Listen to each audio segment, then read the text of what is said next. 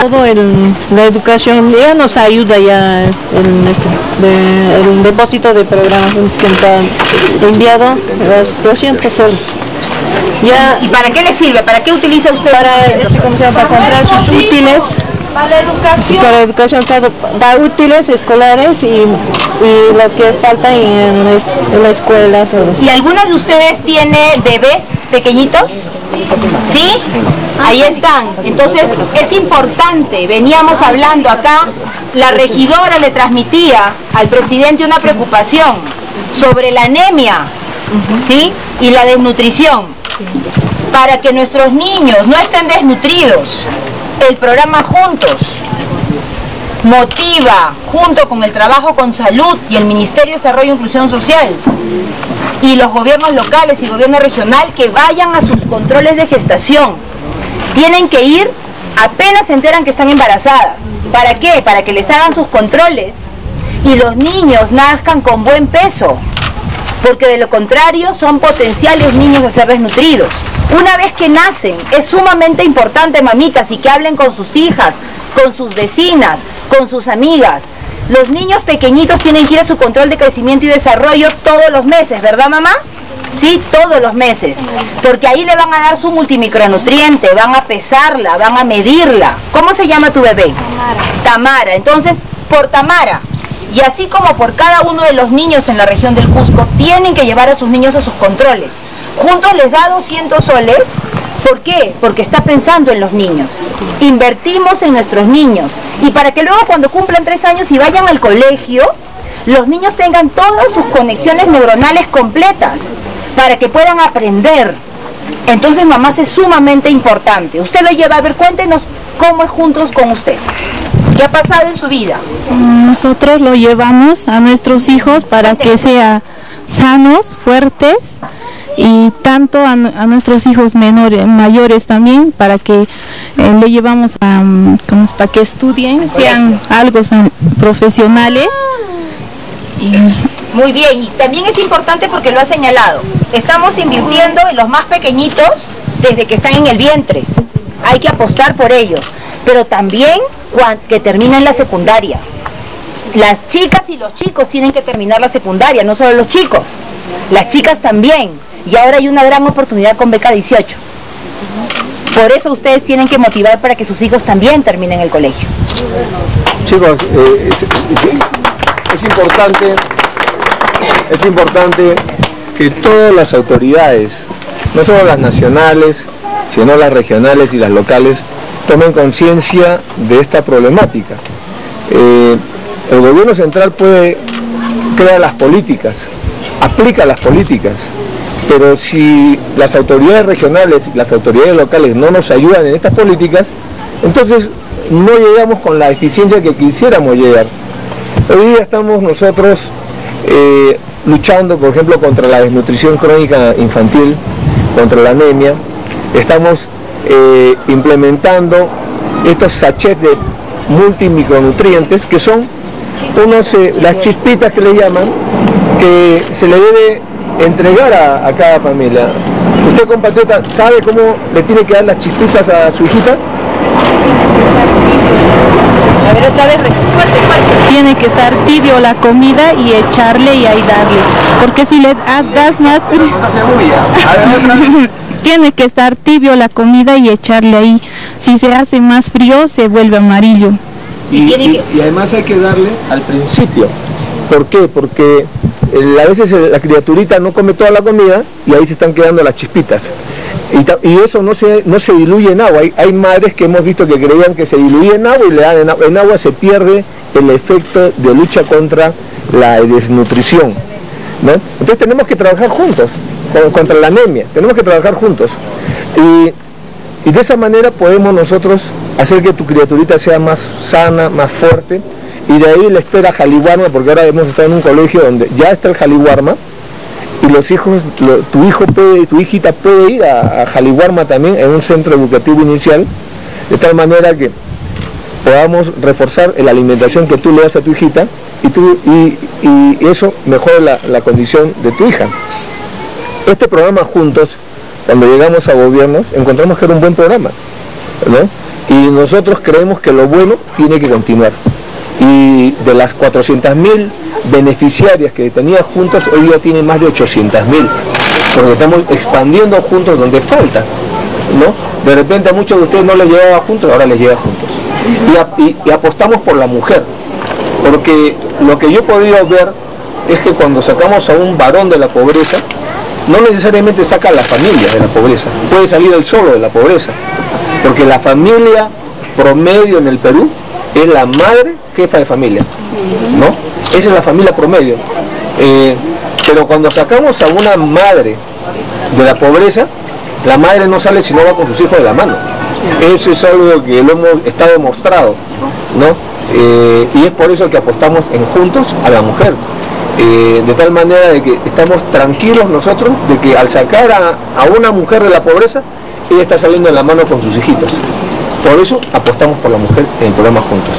Desde acá quiero mandarles también un saludo de Nadine, que quedó hasta ayer en la noche iba a venir con nosotros porque quería estar acá presente con ustedes en estas actividades, pero tareas que en Lima han impedido que pueda venir, pero me encargó que les diera el saludo, porque la vez pasada también iba a venir y por problemas creo de clima, tiempo, no pudo venir. Así que de todas maneras en cualquier momento cae Nadine para eh, venir a hablar con ustedes, a ver que esto, que esto esté avanzando, porque ella es una activista de la política social que estamos dejando. Esta es una política social que no debe retroceder eh, Pensión 65, eh, Jaliwarma, eh, Cuna Más, el, Sistema Nacional de Becas, eso no había antes. Esta es una creación nacionalista que apunta a los de abajo, ¿no? Y que, y que nosotros no descuidamos crecimiento económico, no descuidamos las grandes obras que tienen que hacerse y en el Cusco también, ¿no? Con la política social. Yo lamento que en Cusco todavía hay obras pendientes, como es por ejemplo el, hospital Antonio Lorena en Cusco, el, aeropuerto de Chinchero y proyectos carreteros, ¿no? Y el, gasoducto y, todos estos temas. Pero yo les puedo decir, en el tema del aeropuerto de Chinchero ya se entregó la buena prueba a una empresa. El problema es la ahorita de la empresa que no logra el financiamiento de su proyecto. Entonces, ese, es un, problema que tenemos, pero ya no depende de nosotros, ¿no? Hubo un concurso, hemos hecho el despeje de las, eh, de las líneas de alta tensión, se ha pagado a toda la comunidad en Chinchero, muchos de ellos inclusive se han mandado mudar, otros se han comprado su automóvil, su camión, se les ha pagado. Hemos hecho todo lo que humanamente podíamos hacer como gobierno, ¿no? Pero acá hay un problema ya de la empresa privada que no es lo, esperemos que resuelva este problema la empresa privada y si no, tendremos que hacer un corte y definir este, este, tema.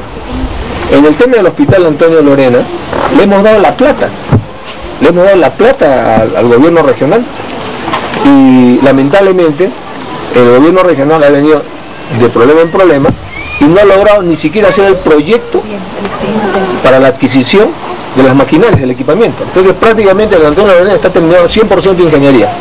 85% de arquitectura. Pero las maquinarias hicieron un mal proceso el gobierno regional y ahora tienen que volver a hacer un nuevo proceso. Estamos luchando para por lo menos poner operativo el área de emergencia, algunas áreas. Pero ya esos temas no los vemos nosotros porque hay un proceso de regionalización. Ojalá me hubieran dado a mí, el, gobierno regional nos hubiera entregado a nosotros eh, la construcción del Antonio Loré ya se los hubiera entregado hace más de un año, porque a mí me duele que este tema que yo les dije lo hacemos, se haya entrampado en el gobierno regional. En cuanto a, las carreteras, bueno, se les comunicó al gobierno regional que tenían que hacer un proyecto de inversión pública y no lo quisieron hacer, no les dio la gana. Hicieron eh, por otro rubro, quisieron hacer el proyecto de carreteras y entregarlo por administración directa. Ahora están entrampados. No por plata, sino porque tiene que resolverse esto en la Contraloría General de la República. Esta es la historia, en resumen, de las cosas que están pasando. Y en el gasoducto, el gasoducto está avanzando, pero perdimos un año porque tuvimos que cambiar el modelo. El modelo que nos habían planteado el gobierno anterior era que el gobierno central tenía que poner 1.200 millones de dólares aproximadamente a la empresa privada. Y yo no iba a poner 1.200 millones de dólares a una empresa privada que ahora está en problemas, ¿no? Y que, eh, ¿cómo estaríamos si hubiéramos puesto la plata? Yo no puedo poner esa plata. Entonces, Ahora el proyecto va avanzando en un 30%, tiene sus dificultades. Esperemos, Dios mediante, que se resuelvan esas dificultades, porque ha generado más de 7.000 puestos de trabajo en la región, de la, en la provincia de la Convención. Pero mientras tanto, nosotros hemos puesto el FISE, que es el Fondo de Inclusión Social Energético, que está beneficiando a más de un millón, 1.1 millón de familias que tienen un subsidio de 16 soles por balón de gas. Hemos, estamos avanzando en el gasoducto, hemos nacionalizado el lote 88, que antes podía irse al mercado internacional, hoy día se queda para el mercado nacional, para los peruanos. Eso no ha sido fácil, pero ha sido llamar a todas las empresas del consorcio camisea, sentarlas y que nadie se va hasta que no se firme esto. Y hoy día jurídicamente ese gas se queda para el Perú. Entonces son pasos que se han venido haciendo, ¿no? No son fáciles. Hemos logrado avanzar en la conexión de gas doméstico eh, de 30.000 conexiones que teníamos, cerramos en cerca de 500.000 que están pagando un promedio de entre 10 a 14 soles por el equivalente de un balón de gas. Entonces, la masificación del gas y el gas barato es un tema que yo hubiera querido hacer en cinco años, pero no se ha podido hacer en cinco años. Hay un millón de familias, un millón de familias que tienen hoy día un subsidio de 16 soles por cada balón de gas. Y hay medio millón de familias que tienen gas en su casa. ¿Qué es lo que tiene que hacer el gobierno regional acá? Tiene que comenzar a hacer el concurso para que las empresas vengan a hacer las conexiones de gas doméstico a las casas. Mientras tanto, vamos, vamos trabajando para que siga avanzando el proyecto de gasoductos y den un ramal para el Cusco. Porque justamente ese tema es un tema nacionalista que nosotros pusimos el, eh, tema en agenda, ¿no? E inclusive muchos eh, candidatos se han prendido ese tema, pero no han dicho cómo lo van a solucionar. Por lo menos nosotros hemos avanzado. Y ahí está. Ustedes pueden ir a, la convención, pueden, pueden ir a Camisea y van a ver ya los tubos, que en un 30% se ha avanzado. Avanzado en lo que es el FISE. Eso había, esa es creación nuestra. ¿no? y estamos dando a 1.1 millones de familias un vale de gas de 16 soles por cada, por cada balón. Hemos distribuido más de 2 millones, no, un millón de cocinas, de cocinas a gas gratis con su balón de gas. Lo hemos hecho. Debe haber llegado acá también, me imagino. ¿no? Entonces, entonces, eso es lo que estamos haciendo. Pero, como digo, en cinco años no se puede completar todo esto, así que esa es una política que el siguiente gobierno tiene que construir, tiene que avanzarla, expandirla, porque no es justo que en Cusco todavía hayan familias que paguen un gas caro. Necesitamos trabajar eso y nosotros vamos a seguir trabajando en esto. Pero simplemente rindo cuentas a ustedes, al pueblo, de todo lo que se ha avanzado. Ojalá que el siguiente gobierno que venga, que muchas veces critican, etcétera, lo visite y sea capaz de avanzar siquiera la mitad, siquiera la mitad siquiera la mitad de lo que hemos hecho, para que recién valore todo este esfuerzo de trabajo indesmayable, donde no hay sábado ni, domingo, ¿no? para cumplir con, los grandes proyectos para el Cusco. O sea, por parte del gobierno central, plata le hemos dado. En el, Consejo de Ministros Descentralizados que hemos hecho en Cusco, no, no recuerdo en qué provincia lo hicimos, ah, perdón, en PISA, que hicimos el Consejo de Ministros. Sí. ¿Ah, Bueno, ahí hemos comprometido más de 8 mil millones de soles para Cusco. Es la región más beneficiada. Esos más de 8 mil millones de soles es adicional al canon que se lleva a Cusco, que son en los últimos 10 años de que se creó el canon, aproximadamente son algo de 10 mil millones de soles, de los cuales la convención se llevó aproximadamente 6 mil millones de soles. La pregunta es qué han hecho, qué ha hecho Cusco con el canon que ha hecho los, gobiernos regionales con el canon gasífero, que ha hecho que ha hecho el gobierno provincial de la convención con los casi 6 mil millones de soles que se ha llevado como canon. ¿Qué es lo que ha hecho? Corrupción. Yo he ido a Echarate y lo que veo son piscinas, lo que veo son eh, jacuzzis al aire libre. Pero voy a Camisea y veo a Miaría, las comunidades de Miaría que pertenecen a Echarate en la pobreza y pobreza extrema. Nos estamos metiendo juntos, estamos metiendo problemas sociales. ¿no? Eso es justamente todo el cuadro de lo que está pasando. Y tenemos nosotros que decirlo con una eh, autocrítica positiva en el sentido que tenemos que mejorar, tenemos que mejorar esto. Sí. Todos aprobamos el gobierno central. Tenemos, aproximadamente mil millones de soles en Cusco, muchas gracias, muchas gracias. Tenemos aproximadamente mil millones de soles invertidos en el quinquenio en programas, solamente en programas sociales para el Cusco. Solamente para el Cusco. ¿no? Que sí Así están que llegando a cada uno, que el ese es- resultado. Esa es la marca que estamos poniendo. Ahora hay que exigir que el que venga supere esa marca. Ojalá lo pueda hacer, yo mismo voy a felicitar, ¿no? Cuando vea que las cosas pueden avanzar y no que se queden paradas, ¿no? Pero acá también hay la mala costumbre de que lo que hace el saliente ya el otro no lo quiere continuar. Yo le digo también a las autoridades locales, porque desde que he venido, he caminado 200 metros y ya me han llenado de proyectitos. Y todavía quieren que le firme el cargo, ¿no? Yo digo, el que mucho abarca, Completen lo que estaba todavía en obra. Completen eso. Lo que pasa es, olvídense, no, hay- no hay reelección de alcaldes ni de gobernadores, salvo que cambia la ley. ¿No? Entonces, eh, acá lo que queremos hacer, ya, esto, esto hizo el saliente, lo ha dejado, ¿no? Ahora, entonces, yo no, yo no toco eso para que, para que lo chanquen al saliente y yo voy a hacer estos proyectitos, ¿no? Entonces, y después no lo terminan tampoco. Entonces nos llenamos de proyectitos a media caña. Entonces, hacemos una región a media caña. Entonces también uno tiene que madurar y lo bueno hay que completarlo. Lo bueno hay que completarlo, lo peor es una obra inconclusa. Por eso eh, he traído al ministro de Salud que se ha quedado en el Cusco a verlo del Antonio Lorena. He traído a Provías Nacional que vaya a conversar con el gobierno regional a ver cómo vamos desentrampando sus proyectos carreteros, porque es una de las pocas regiones que se le ha dado tanta plata para carreteras. Es Puno, San Martín, Cusco. Son las tres regiones que se, se eligieron para iniciar este proyecto de, de prorregión, que eran las carreteras regionales con plata del gobierno central. Y no pueden terminarla, ya pues. Ya pues, la próxima vez, entonces yo mismo tengo que hacer la carretera. Quiere hablar, quiere hablar, señor presidente. Señor presidente, lo agradecemos, señor, de todos los programas. Señor presidente, lo agradecemos todos los programas que nos han Ya, siga, siga, siga. Sí, para mí que me lo guarden. Señor presidente, le está... Sí, para mí que me lo guarden para llevarme. porque yo ahorita no- Señor presidente. Señor presidente, lo agradecemos de todos los programas que nos ha mandado. Gracias, muchas gracias.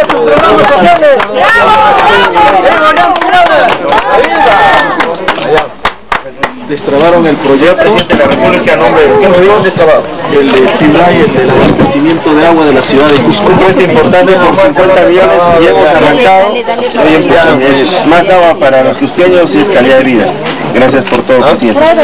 Y como veo mi medida así que a media caña, presidente, la cosa tiene que hacerse bien, no a media caña, caracho, mira, hasta la, hasta la medida se cae. Presidente, acostúmbrese a hacer el choclo de... Ahorita. Está bien puesto el choclo. Ya, muy bien. Vamos, Estamos apurados. Presidente. Ya, ya me hace choclo.